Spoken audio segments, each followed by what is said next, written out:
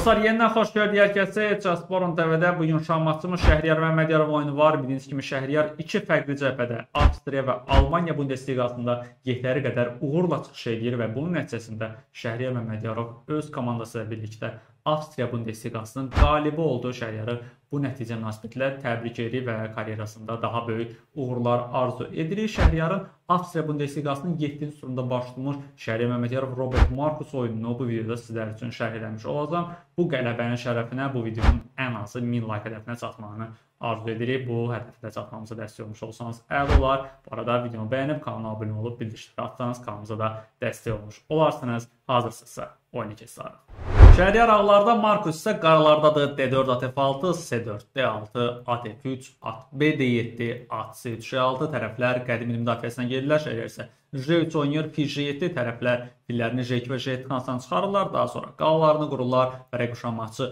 Y5 oynayır, Şəhriyar isə Y4 ilə qarşılıq verir. Piyadalar dəyişir. Mərkəzdə top Y8 şahmatçımız H3 oynayaraq şah üçündə bir nəfəslik açır. At C5 yerişdən sonra Markus 2 at və topla G4-dəki piyadamıza zərbə endirib. Bunun qarşılığında Şəhriyar topunu oyuna çıxarıb G4-dəki piyadasını müdafiə edir. 6 Şəhriyar atını B3 xanasına geri qaytar və atları dəyişdirmək təklif edir ki, rəqibin Y4 piyasasına hücum edən 2 atından birini dəyişdirə bilsin. At F7-dən sonra artıq buna ehtiyacı yoxdur və bu gedişdə rəqib şahmatçı həmçində filinin yolunu açmış olur. A1 H8 diaqonalında Şəhriyar isə filini F4-də oyuna çıxardır at yapdı. Filimizə hücum var. Fil qayıdır G3 xanasına və fil G3-dən sonra G5 xanasına bir boşluq yaranır və Robert də bundan istifadə edərək atını mərkəzə yerləşdirib C4-dəki piyadamıza zərbə endirir. Şəhər vəzrini oyuna çıxardıb C4-də piyadanı qoruyur. Rəqib şahması isə çox maraqlı bir taktikanı həyata keçirir bu vəziyyətdə. 15-ci gedişdə Marcus Robert B5 oynayaraq piyadaları dəyişdirmə təklif edir. Daha dəqiq desəm, rəqib şahması piyadanı qurban verir. Bu vəziyyətdə əgər SB vursaq, AB-dən sonra at B5 və ya vəzir B5 kimi gedişlər rəqibin piyadasını ortadan götürə bilərik, amma olmaz. Səbəbi odur ki, at B5 vursa rəqib şahmatçı oynayacaq fil 6 və gördüyünüz kimi fil 6 gedişlə B5-dəki atımız bağlamaya düşür. Növbəti gedişdə C6 gəlib həmin atı ortadan götürmək kimi təhlükələr ortaya çıxa bilər. Yox, əgər at B5-in yerinə vəzirlə həmin piyadanı götürsə, yenə də fil 6 gedişlə rəqib şahmatçı istifadə edərək filini oyuna çıxarıb vəzirə hücum edir, vəzir qaçır. B5 xanasına və at D3 gedişlə fikir verirsə rəqib şahmatçı bir piyadanı bizə qurban ver, əvəzində isə aktiv bir vəziyyət əldə edir. Həmçinin də burada B2-dəki piyada zərbə altında qalır. Gələcəkdə at B2 və daha sonra top B2 fil C3 təhlükələri də ortaya çıxa bilər. Təbii ki, Şəhriyar belə şeylərə aldanmır və B5 gedişinə şahmatçımız C5 oynayaraq piyaları C5 hansında dəyişdirməyə rəqibə təklif edir və rəqib şahmatçı dəyişdirir. DS At C5, at D4 gedişi ilə artıq vəzirimizə hücum var. Y2 kanalında Şəhriyar isə vəziri D1-ə qaytarır və əks hücumla rəqibin D4-dəki atını ortadan götürmək istəyirik. At C4 gedişi ilə rəqibin atları çox yaxşı mövqedə qalır burada.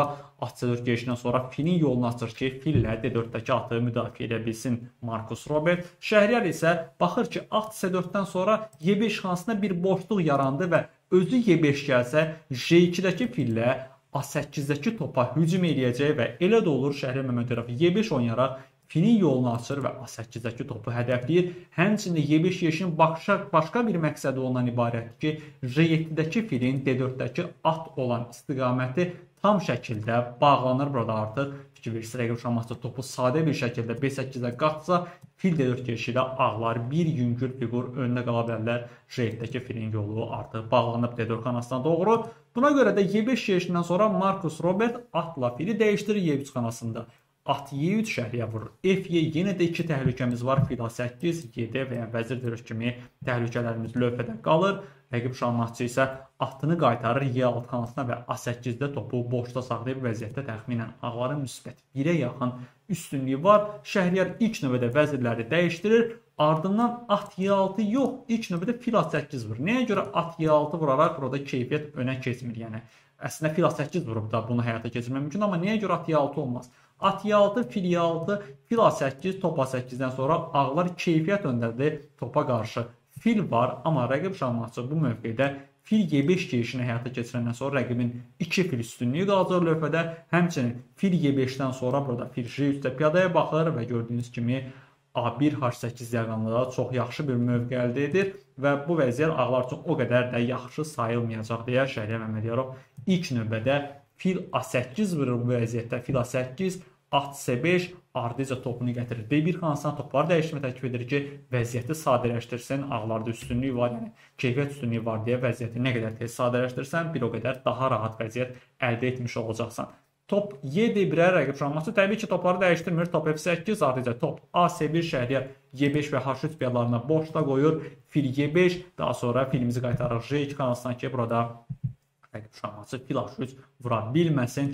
Fil H3 təbii ki, vurmaq mümkün deyil və Burada Markus fil D6 gələrək atını müdafiə edir. Fil J3 yerişinə isə Şəhriyar burada at B5 banlayır ki, atımızı qurban verir. Növbəti yerdə isə C5-dəki atı ortadan götürürük. Fil D6, Şəhriyar at D5 oynayır. At Y6-dan sonra şahı da mərkəz tərəf gətirir. Şah F2 hər iki piyadanı müdafiə edir. Həm J3, həmçində Y3 piyalarını şah Ş7 Şəhriyar da atını B6 xanasına gətirərək qurban verir atını. Rəqib şahmatçı əgər SB vurarsa, top D6-dan sonra ağlar fiquru geri qaytarır və çox aktiv bir vəziyyət əldə edirlər. Markus isə filini Y5 xanasına qaçırdır. Şəhriyar dəyişdirir. Burada atla fili vəziyyəti bir qədər sadələşdirir. Top C6 yeşindən sonra A6-dakı piyadanı istəyirik. Top B8 hal-hazırda top 6 vursa, rəqib şahmatçı təbii ki, fil B2 vuracaq. Şəhriyar da buna görə ilk növbədə B4 gəlib piyadasını qoruyur və rəqibin vəzir cinahındakı piyadalarına blok qoymuş olur.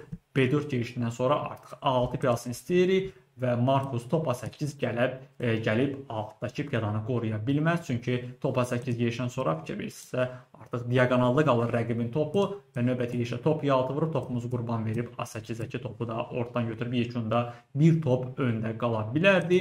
Buna görə də B4-də Markus top B6 oynayır, top B6, toplar da dəyişir. Rəqib çarəsiz şəkildə toplar dəyişdirir ki, 6 B alsın verməsin və ardından Şəhri Məmmədiyarov top D7 gərək topunu da aktivləşdirir. Şah F6 və 34-cü yerişdəki fil D5 geyişi oyunun son geyişi olacaq. Şahmat sevərlər təbii ki, bu vəziyyətdə artıq fil D5-dən sonra atla fili dəyişdirmək istəyirəm. Rəqib atı elə bir yerə qaçmalıdır ki, F7-ni qorusun, çünki həm top, həmçində fillə F7 piyasını zərbə endirmişəm. At J5 də gəlsə həmin halda H4 ata hücum var. At yenidən məcburdur ki, ya Y6-ya qayıtsın. At H3 isə bir yeyiş deyil. At H3-də şah Ş2 gəlib burada H3-də rəqibin atını tutmaq mümkündür. Məhz buna görə də 34-cü yerişdə Fidli 5 yerişindən sonra Markus Robert təslim olur.